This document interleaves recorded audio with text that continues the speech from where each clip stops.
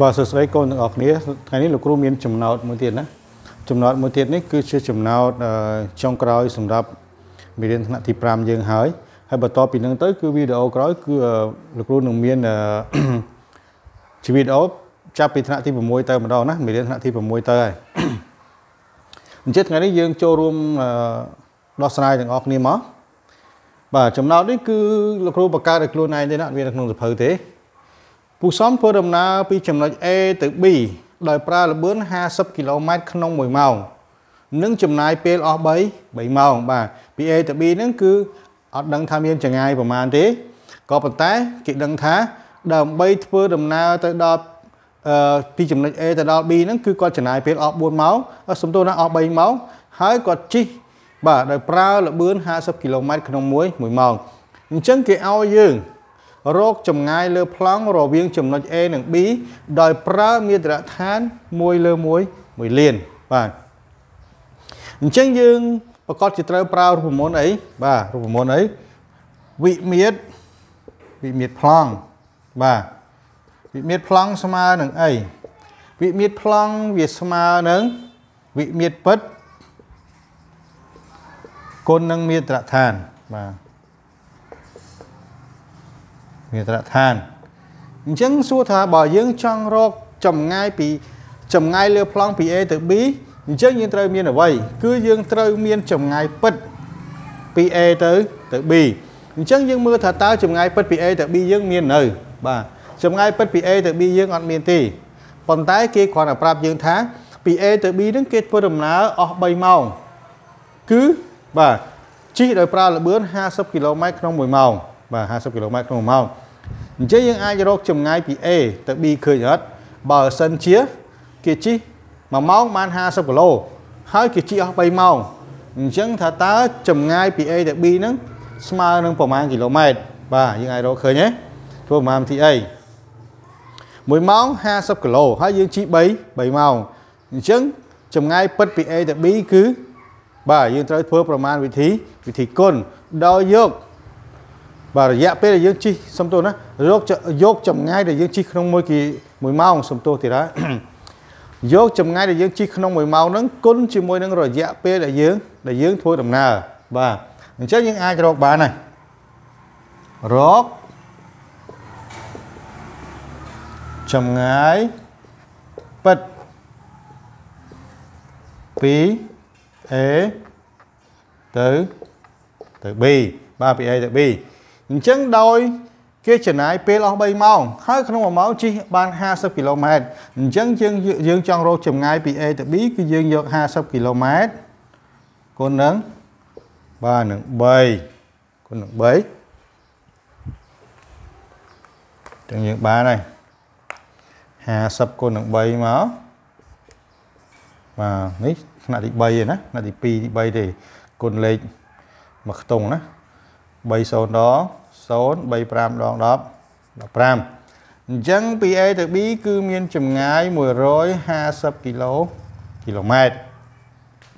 លើពេលនេះយើងបានឃើញចម្ងាយពិតពី A ទៅ B គឺមាន150គីឡូម៉ែត្រអញ្ចឹងយើងអាចគណនាចម្ងាយលើប្លង់របស់វាបានអត់បាទគឺបានរកចម្ងាយ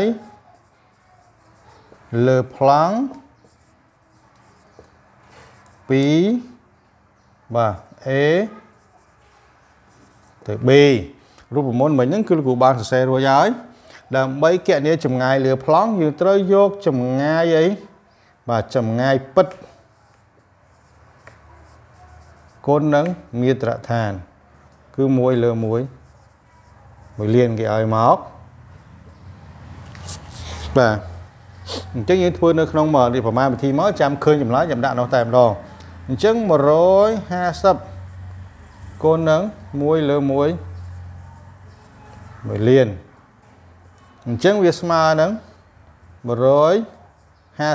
150នេះគឺ150គីឡូម៉ែត្រណាបាទលើ1 1លានអញ្ចឹងវាស្មើនឹងប៉ុន្មានវាស្មើនឹងបាទលោកដាក់ខិតនេះតិចមកតែប៉ុន្តែយើងត្រូវតនេះណាប៉ុន្តែវាខ្លី អញ្ចឹងវាស្មើនឹងបាទចែកមកឥឡូវបដូរវាទៅជាម៉ែត្រហ្មងបាទ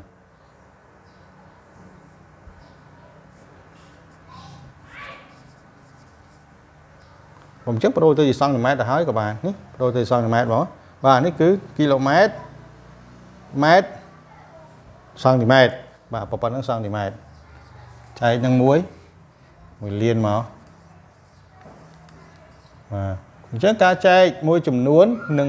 អឺមកនឹង10 100 1000 10000 140,000លានយើងគ្រាន់តែលុប0ចោលចំនួនស្មើគ្នាទៅបាទ1 2 3 4 5 6 1 2 3 4 5 6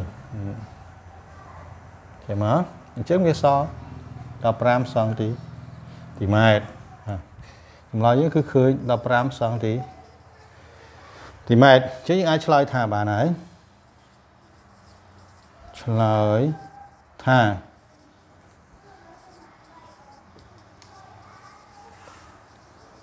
ចម្ងាយលើប្លង់2 A ទៅ B គឺ15អាសង់ទីទីម៉ែត្រហ្នឹងហើយចម្លើយគឺប៉ុណ្ណឹងហើយលោកគ្រូនៅតែអឺ បាទរំលឹកយើងដដែលដដែលនេះគឺយើងត្រូវប្រើបន្ទាត់ណាប្រើបន្ទាត់ហើយសញ្ញាស្មើនឹងរបាប្រភេទនេះគឺរបាប្រភេទត្រូវដាក់ចំពាក់កណ្ដាលសញ្ញាស្មើសញ្ញាគុណត្រូវចំរបាប្រភេទចឹងដែរណា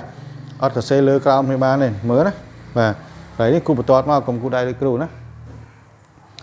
បាទចម្លាតយើងគឺចប់ត្រឹមប៉ុណ្្នឹងហើយគឺចម្ងាយលើប្លង់រវាង A និង B នឹងគឺ15សង់ទីទីម៉ែត្របាទ អញ្ចឹងអរគុណច្រើនសម្រាប់ការតាមដានទស្សនាវីដេអូរបស់លោកគ្រូហើយយើងនឹងជួបគ្នាវីដេអូក្រោយគឺមេរៀនថ្នាក់ទី6ហើយអ្នកដែលរៀនថ្នាក់ទី5ថ្មីក៏យើងអាចមើលវីដេអូបានដែរលោកគ្រូនឹងធ្វើបាទមេរៀនថ្នាក់ទី5ដើមឆ្នាំមកដែរបាទរហូតមកដល់មេរៀនដែលលោកគ្រូធ្វើចាប់ដើមធ្វើហ្នឹងគឺលោកគ្រូបង្រៀនពីមេរៀនទី13 14មកអញ្ចឹងលោកគ្រូនឹងធ្វើមេរៀនដំបូងរហូតដល់មេរៀនទី12 13 13 14ហ្នឹងដែរចំណែកទី6លោកគ្រូធ្វើចាប់ពីមេរៀនដំបូងទៅបាទ វីដេអូក្រោយគឺយើងជួបគ្នា